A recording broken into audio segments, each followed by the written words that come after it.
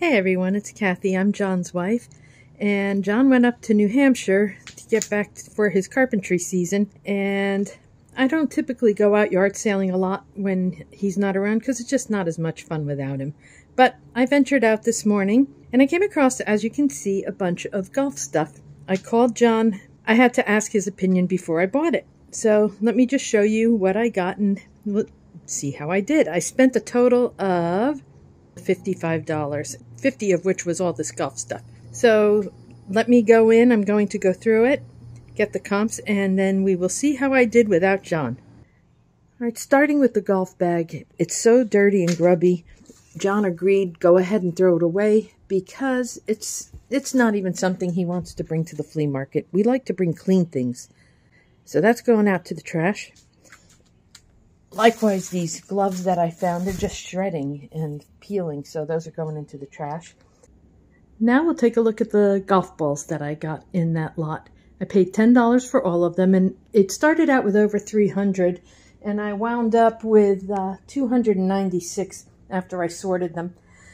And the Titleists, we got 68 Titleists, 17 Top-Flites, max fly, and that included their Noodle brand, 22 of those, 21 Nike, including Nike Mojos, 19 Srixon, 20 Bridgestone, 21 TaylorMade, 35 Callaways, and then 73 generic or assorted ones. And anyway, John said I did pretty well and that for $10 he feels like I did okay. A lot of times he'll get maybe 25 to $50 per hundred depending on the quality. I had to throw away a few that were pretty beat up. So obviously the he said the better and cleaner that they are, the more we can get, but I thought I'd show you what I got in that lot. Now we'll take a look at the clubs. All right, the first one that I looked up was this big driver. Uh, this is called an Acer XV12, and it also has an interesting shaft, Swing Science FC150. So I looked them up, and it looks like they would sell separately. The actual head of the driver if it were brand new, would be about 80 bucks. I don't know what we can get for it used. And the shaft itself there were none sold, but some people are asking around $40 plus or minus for the shaft. Then next up were these three Extreme MOI. These don't appear to be really anything special, but maybe around $25 each. Again, John will decide what he wants to do with them. These next two, Spider Oversize, and there was a set that went for about $25. I couldn't find any of these Excelsior Raven clubs, so I don't know. It's pretty beat up anyway, so. Then there were two Infinity clubs. This regular Infinity one didn't seem to be anything special. And then this Infinity Hot Shot. Sets of these, if they were new, were about $75. But uh, just individually, people are asking about 75 for two of them. Again, John may just want to bring those to the flea market. I did find a couple of these TaylorMade R11S. They were selling anywhere from like 30 to 60 with a really nice shaft. And then finally there was this Wishon putter, but it is a wreck. This thing has the nastiest grip. It just almost ruined our couch. It it got whatever is on this grip. I had to scrub it off the floor. The picture of my hand after handling it. I had no idea and it actually spread to a bunch of these other shafts. So I'm just going to store this whole group in the garage with the grips in a in a bag and I'll just let John deal with these when he gets back in the fall. And that Wishon putter maybe about 20 bucks for the head. I'm not sure. Anyway, that's that's pretty much what I got there. It does seem like maybe this first one might be the best out of out of the whole kit and caboodle. And then the only other stuff in that golf bag included a whole bunch of these, uh, these things, these, I, I don't know, I call them sock thingies that go on top of the clubs. And there's nothing special. I looked them up, but we could either sell them at the flea market, I'm sure. The ones that I saw in there appeared to be going anywhere from $5 to $10. So certainly not enough value there for us to list them separately.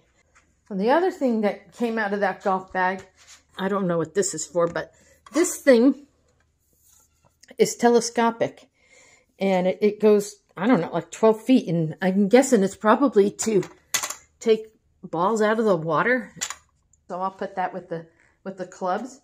A whole bunch of tees came out of the bag and other sundry items. I think that goes to takes your cleats off maybe out of your shoes. And then the big surprise was this $1.36 that came out of the bag. So that was kind of fun. Anyway, that's it for the golf stuff. So I was at an estate sale and I picked up this Kodak Brownie 500 movie projector in a box. And it, I've tested it and it works, which is wonderful. And for that $30, I also got a bunch of home movies to go with it.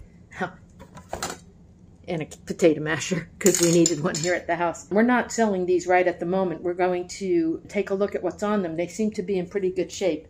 We think that most of the movies may be of a military retirement parade. Some brigadier general, last name was Kendall. Anyway, it'll be kind of fun to see what's on those tapes. And also got a whole bunch of baseballs for John because he know you know how he likes these things.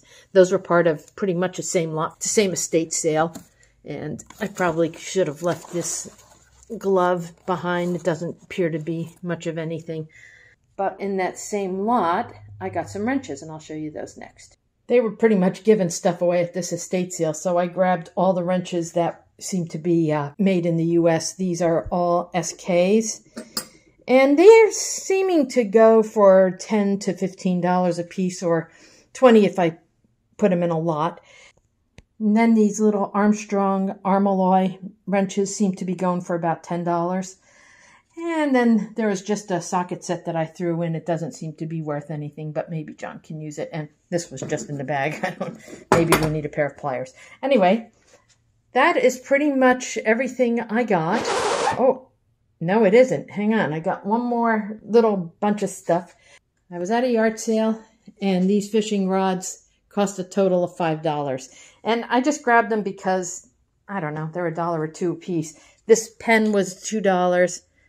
And the reason it was only $2 is because it's missing a little tip. But John says he can fix that.